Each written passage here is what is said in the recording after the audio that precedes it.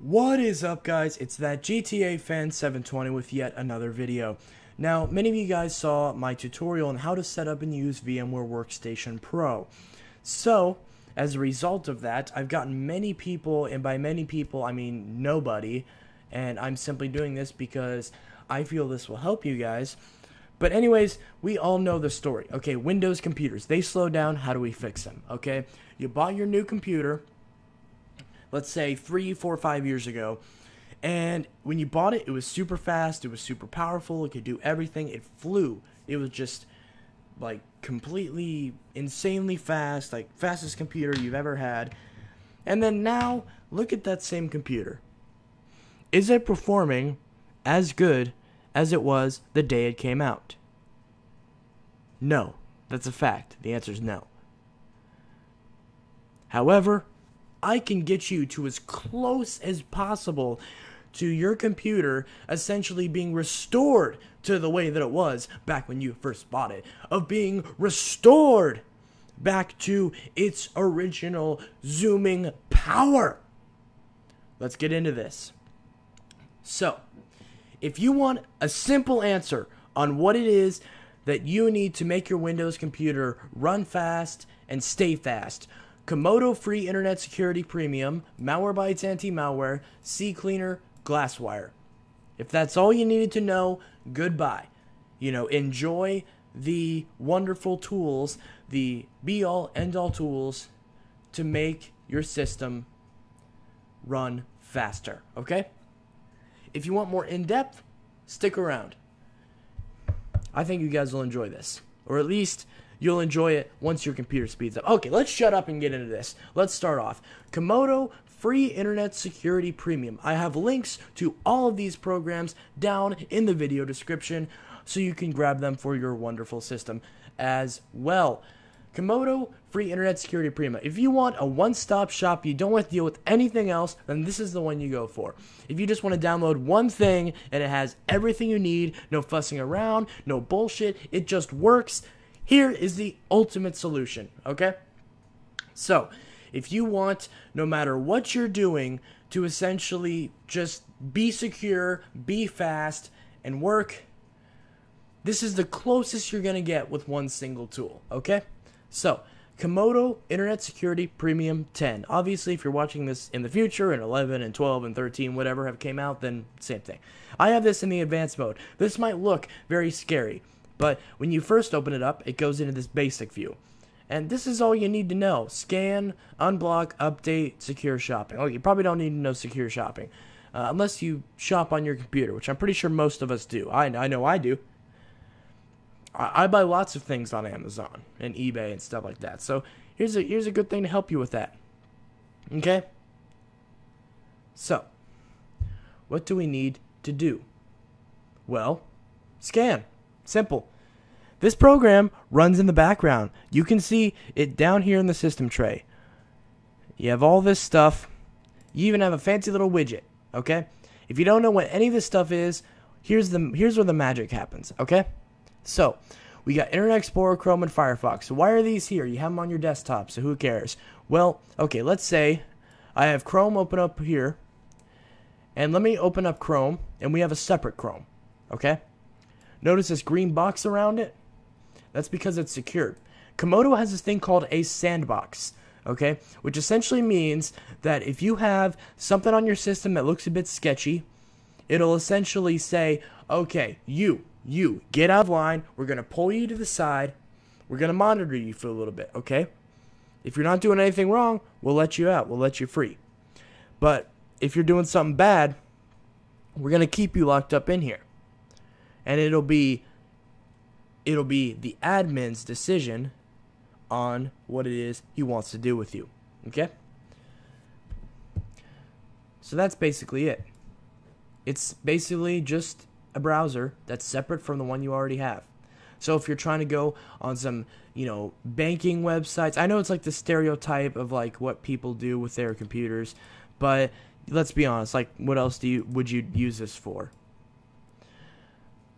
Anyways, so essentially, if you need a more secure way of accessing your web browser, here it is. That's basically what that is. So if you download some, you know, crazy on here, or if you go into like an email, it's like a phishing li- phishing link, this will block it.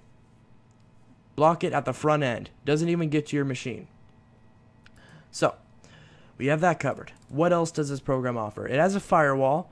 So you're not using Windows firewall, you're using Comodo's. Everything goes through goes through this.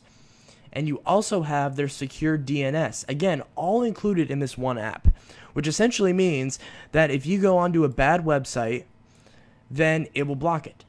It'll pop up a big page saying, a big red page saying, hey, Comodo kept you from being protected. Okay?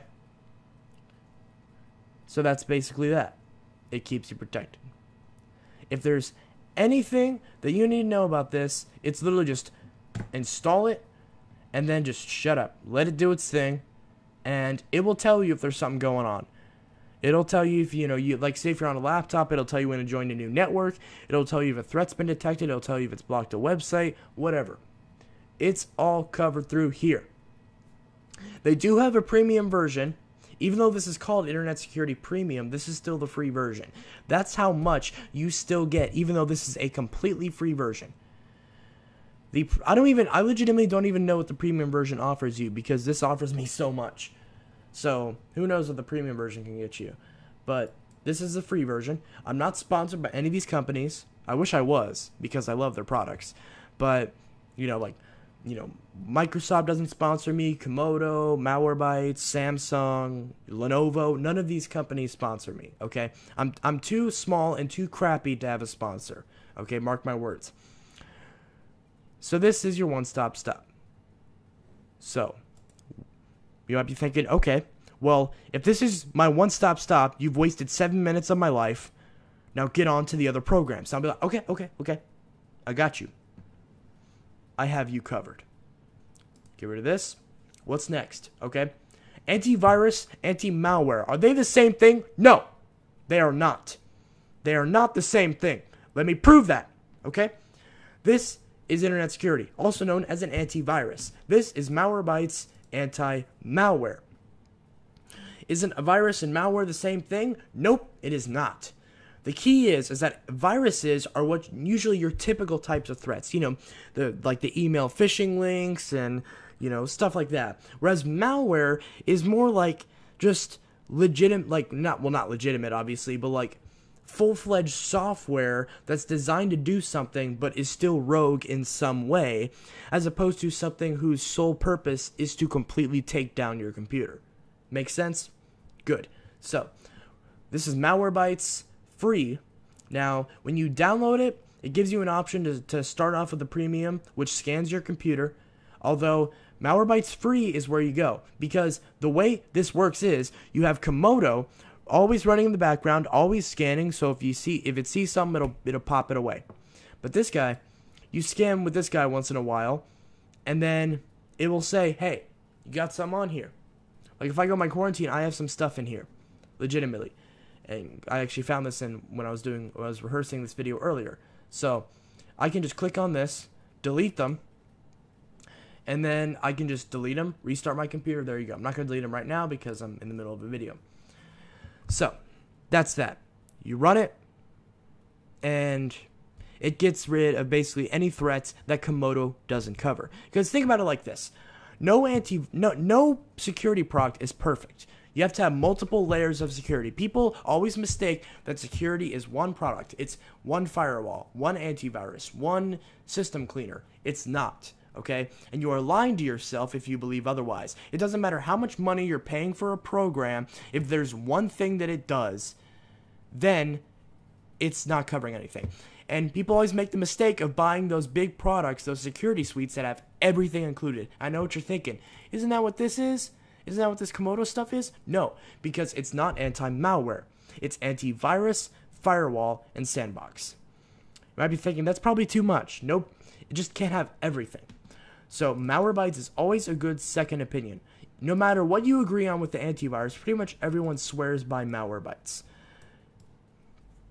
So having these both side by side, this one running and this one idle that you run on your own time if you detect something wrong with your system, then this is almost, keyword almost, nothing's perfect, but this is the closest you're going to get from a consumer level to being securely and in terms of being able to be compromised, bulletproof.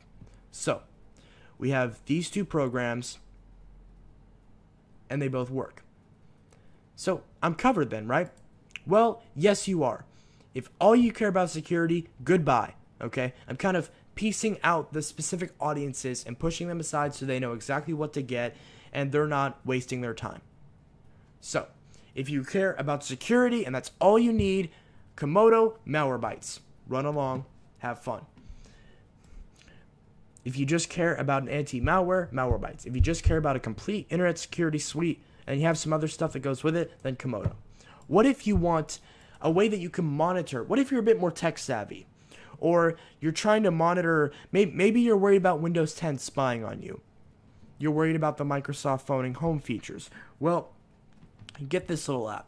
It's called Glasswire. Not to be confused with LimeWire, which is like a torrenting thing from a little bit ago, but it's called Glasswire.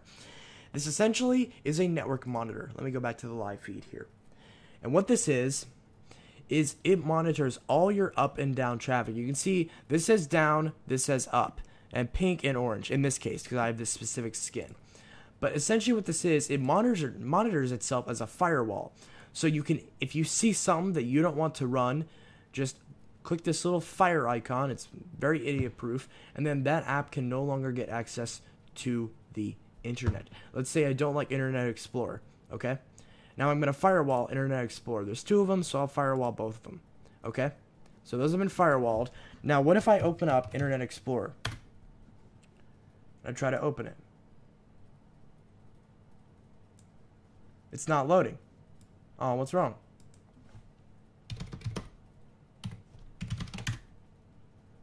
Can't reach this page.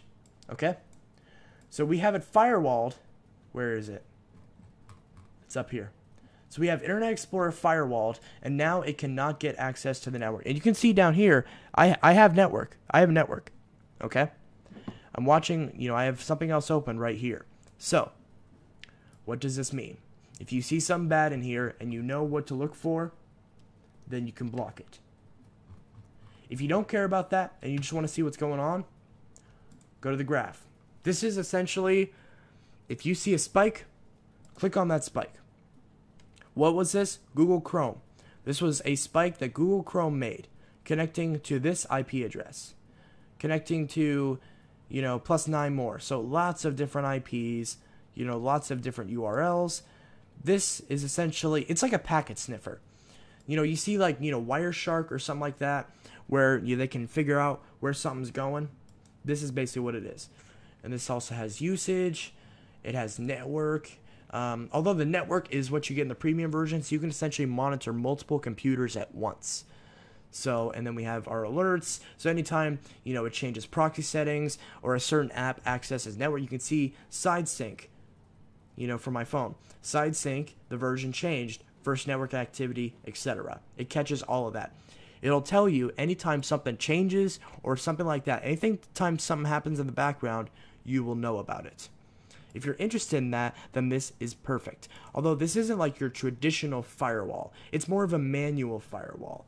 So it will not, as far as I know, it will not automatically detect a lot of malicious things. It's more just it's there if you know if you know what you're doing, if you're a little bit more advanced, you can physically shut something off if you don't want it there. And then of course you do have also the advantage of having this pretty little live demo of everything going on. So again, it's like, okay, I see this spike. What's this spike? you know, Google Chrome, and one more. So it's Google Chrome and host process for Windows services. Okay, most of you probably wouldn't even know that, but we know now that that is something that happened. So, okay, let me show more example. This is very in depth. So let's say open up the store, Microsoft Store. So, what just happened? Go back to live.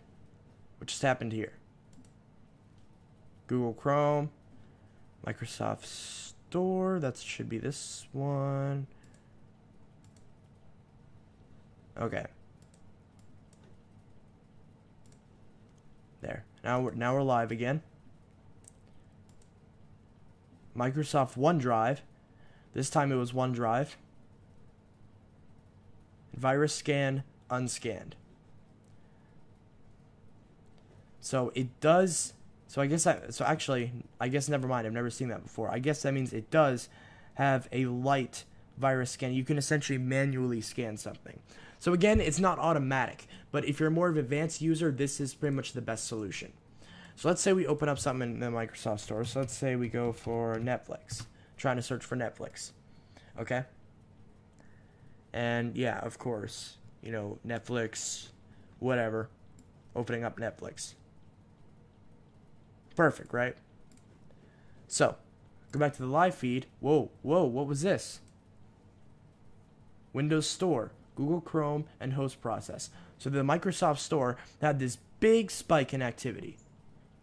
So what if that was something happening in the background? You wouldn't know it.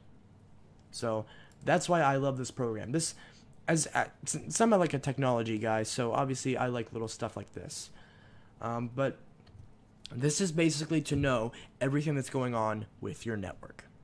So, will this conflict with the Comodo firewall? It will not, because it's not a firewall in the same sense. These can both be running. Even with both of these running, they have very light hits on the system. So, now let's go into security's done with. Okay, if you don't care about security, bye. Or if you care about only about security, bye bye. Have fun. Rock on.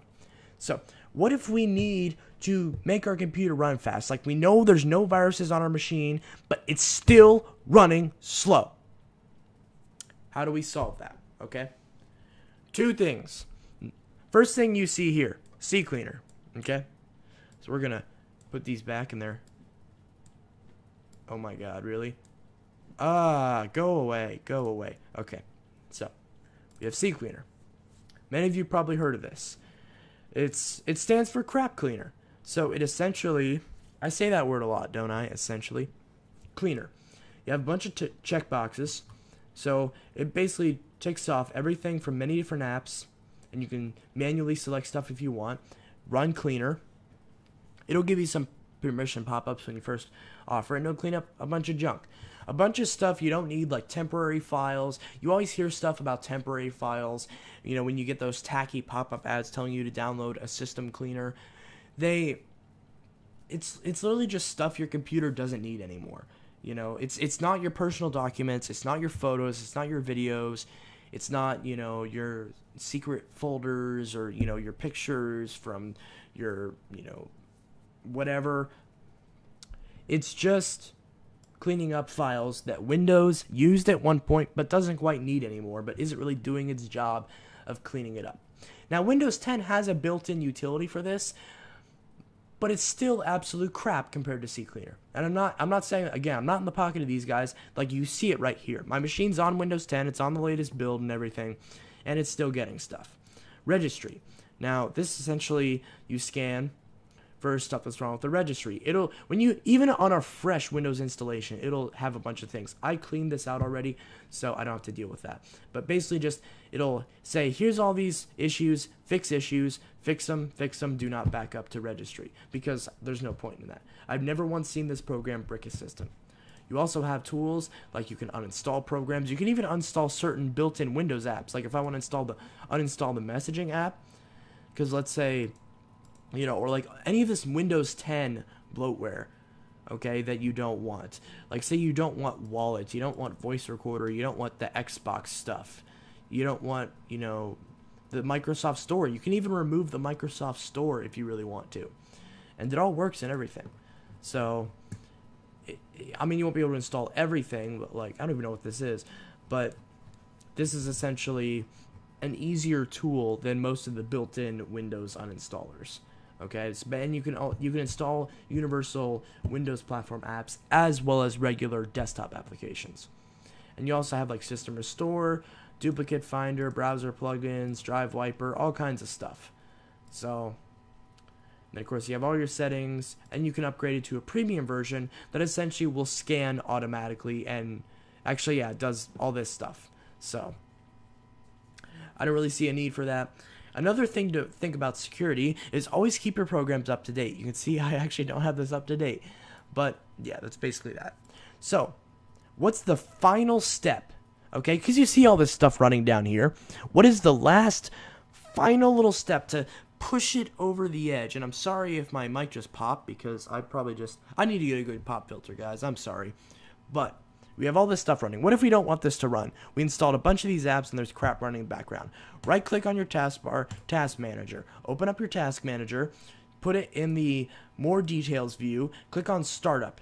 And this is simple. Every app that you see that you don't want to start up, just simply click on it and click Disable. Like for example, Java update. I hate Java and I want it to die, so I will click Disable. Now I just enabled it and I obviously don't want that, so I'm going to disable it. It's as simple as that. It's much easier than in the earlier versions of Windows. But if you have Windows 8 or newer, it's like this. If you're in Windows 7 or older, you'll have to go into the Start menu and type in msconfig, and it will open up a box, and you can go through Startup and do the same the same basic thing. So, what else is there? Well, I mean, that's pretty much it. If your computer is still slow at this point, then the worst case scenario that you might have to do if, if it's not your hardware, assuming it's not a hardware issue, is sometimes you just need to do a fresh install of Windows. Sometimes there's just a lot of stuff building up, and you kind of just want to start fresh. Well, how do I do that? Well, find out in the next video. This is that GTA fan 720 signing out. I hope you all have a good one, and I hope you found this tutorial very helpful. If you guys have any questions, drop them in the comments below, and I will gladly answer them. And a new video coming out soon will include how to install a copy of Windows, assuming that doesn't screw up, because I've tried to do in the past and it screwed up on me. So if you don't see that, I'm sorry. And how to speed up your Android smartphone. So, anyway, guys, this is that GTA Fan 720 signing out. I hope you all have a good one.